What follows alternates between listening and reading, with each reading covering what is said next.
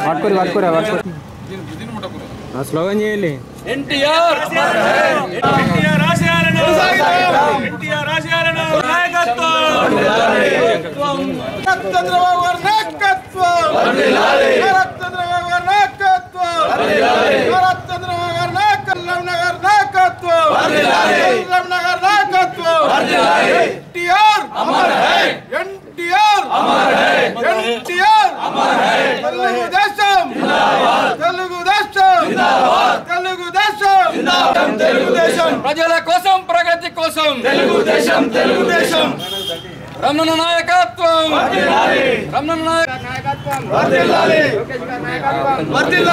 జై తెలుగుదేశం అక్క భాగ్యక్క ముంగడికి రా. నారా చంద్రబాబు గారి నాయకత్వం. నారా చంద్రబాబు గారి నాయకత్వం. ఎల్రమణ నాయకత్వం. ఎల్రమణ గారి నాయకత్వం. తెలుగు దేశం ప్రగతి కోసం ప్రజల కోసం. ప్రగతి కోసం ప్రజల కోసం.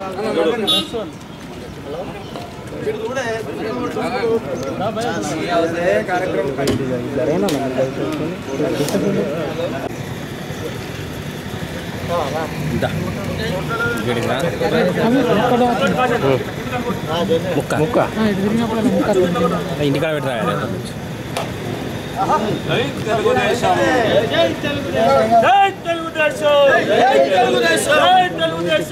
సాధిద్దాం సాధిద్దాం. సాధిద్దాం. సాధిద్దాం. ఎన్టీఆర్. ఎన్టీఆర్. ఎన్టీ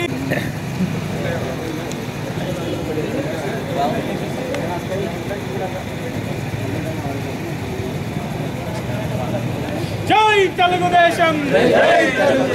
జై తెలుగుదేశం. జై తెలుగుదేశం. జై తెలుగుదేశం జై తెలుగుదేశం ఎన్టీఆర్. ఎన్టీఆర్. ఎప్పుడు అటోటి ఇటోటి తిరుగులేనా మీరు పల్లె తిరుగుతారు. సూర్యచంద్రుడు ఉన్నంత కాలం సూర్యచంద్రుడు ఉన్నంత కాలం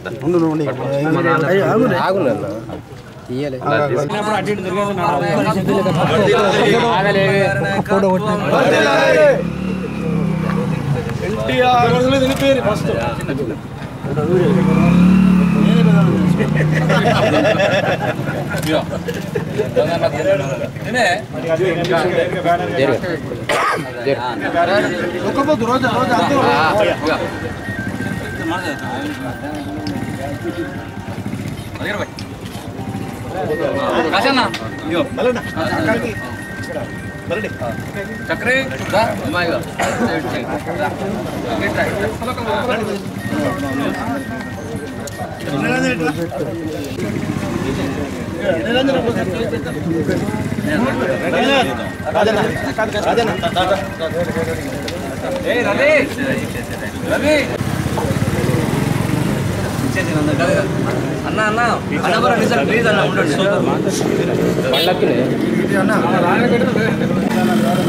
బాబాయ్ జిందాబాద్ బాబాయ్ రా బాబాయ్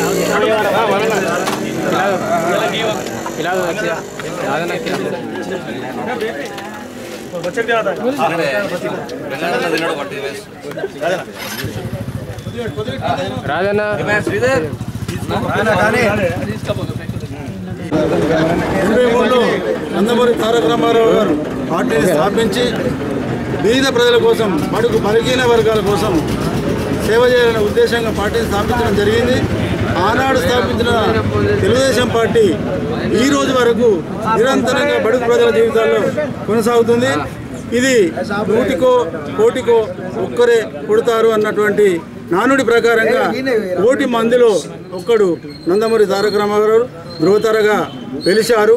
వారు చేసినటువంటి కార్యక్రమాలు నిరంతరం ప్రజాసేవలో మునిగి ప్రజాసేవ కోసం నిరంతరం శ్రమించి తెలుగు ప్రజలు తెలుగోడు అనేటువంటి నినాదాన్ని తీసుకొచ్చినటువంటి ఏకైక వ్యక్తి తెలుగు ప్రజలకు కూడు గుడ్డ చ- బట్ట అనేటువంటి ఒక నినాదంతో తీసుకొచ్చినటువంటి తెలుగుదేశం పార్టీని నిరంతరం శ్రమించి పార్టీని స్థాపించి ఎంతోమంది బలహీన వర్గాలకు సమున్నత స్థానాన్ని కల్పించినటువంటి ఏకైక వ్యక్తి మహనీయుడు.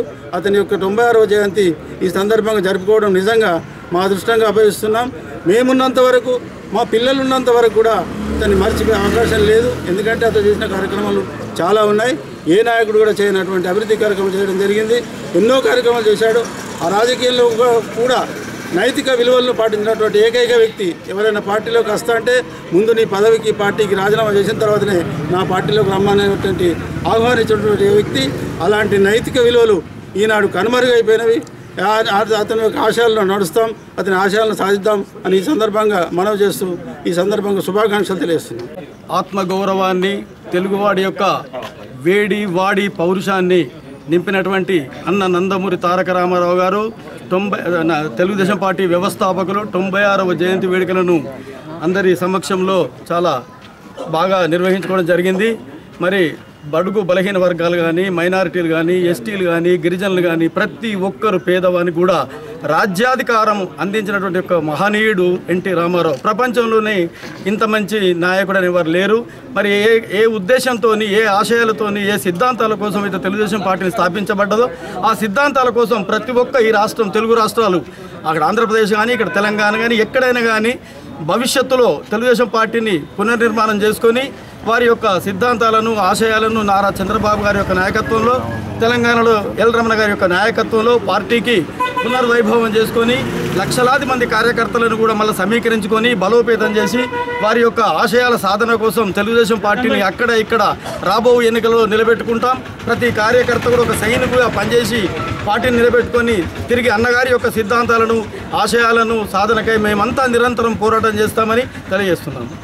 తొంభై ఆరవ జయంతి ఉత్సవం సందర్భంగా విచ్చేసిన తెలుగుదేశం కార్యకర్తలకు మరి అభిమానులందరికీ పేరు పేరున నమస్సుమంజాలు తెలియజేసుకుంటూ ముఖ్యంగా భారతవనిలో ఎన్టీ రామారావు చరిత్ర తెలియని వారు ఎవరు ఉండరు ఉమ్మడి ఆంధ్రప్రదేశ్ ఉన్నప్పుడు తెలుగుదేశం పార్టీని ఉర్రూతలోకించిన ఘనత ఎన్టీ రామారావు గారు ఉంది.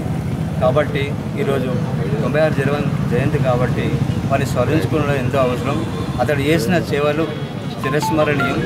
అతడు సమాజమే దేవాలయం ప్రజలే దేవుళ్ళు అనే ఒక నిదానంతో ప్రజల్లోకి వచ్చి అఖండమైన మెజార్టీతో తెలుగుదేశం స్థాపించి అతని ఉన్నత స్థానాన్ని మనం ముందు ముందు కొనాడాలి చేయాలి. ఎందుకంటే ప్రజలు నానా స్థితిలో ఉన్నప్పుడు బాధలో ఉన్నప్పుడు ప్రజలకు ఏం చేయాలనే ఉద్దేశంతో అతను జీవించినప్పుడు కొన్ని విషయాలు తెలుసుకొని ప్రజలు బాగా బీద స్థితిలో ఉన్నారు. వాళ్ళకి ఏదైనా సాధించాలని మొట్టమొదటిగా రెండు రూపాయల కిలో బియ్యం అలాగే ప్రతి ఒక్క బీదవానికి ఇల్లు కూడా ఉండడానికి ఇల్లు కూడా నిర్మించింది అనేక కార్యక్రమాలు చేసింది కాబట్టి మన యొక్క ఆశయాలకు మొత్తం కట్టుబడి ఉండి ఫ్యూచర్లో పడ తెలుగుదేశం పార్టీని పునర్భాగం తీసుకొస్తా అని ఈ సందర్భంగా తెలియజేస్తూ మరొకసారి బంగారు జన జన్మదినంకి వచ్చారు నమస్కారాలు చేసుకుంటారు